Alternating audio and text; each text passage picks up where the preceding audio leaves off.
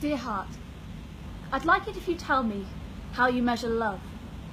Do you deal in ounces and quarters or stroke it with kid gloves? How do you pick who gets it? Because I'd really like a say. And why is it that some people get more and more each day? Another thing I'd like to know is how love measures time. Is it founded in an instant then lasts a whole lifetime? Does it grow and grow your whole life through, so I have more and more? Or is there just a set amount you get at birth and store?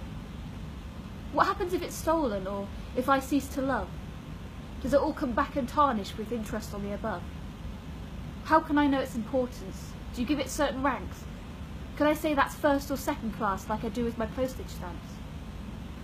Is true love like in stories, like old-fashioned fairy tales? Cinderella meets Prince Charming and only love prevails.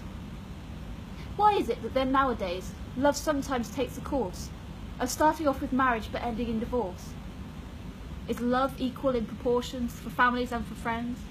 For husbands, wives and children? Where does it ever end? To let me know what's going on, let's strike a little deal. Beat slowly for the phonies and fast if it's for real.